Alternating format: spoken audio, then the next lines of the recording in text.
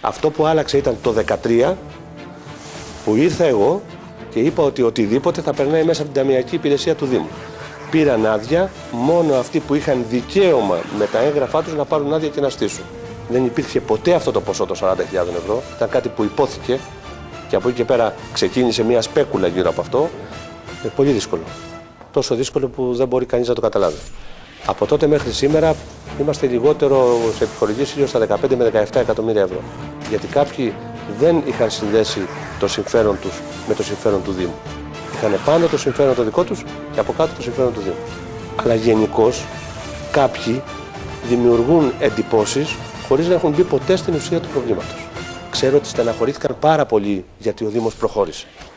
Και έχει μπει η ανακύκλωση στα σπίτια των ναυπλιαίων. Πιστεύετε ότι θα έπρεπε να αντιδράσω; Είμαστε πρωταθλητές στη λάσπη. Στη λάσπη είμαστε πρωταθλητές. Φταίει ίσως η πτώση της οικοδομής. Σε κάποιον περίσσεψε λάσπη. Δεν έχει να σοφαντήσει και νομίζει ότι μας το, θα μας την πετάει και θα πιάνει. Όμως δεν πιάνει σε αυτούς που δεν μπορεί να πιάσει.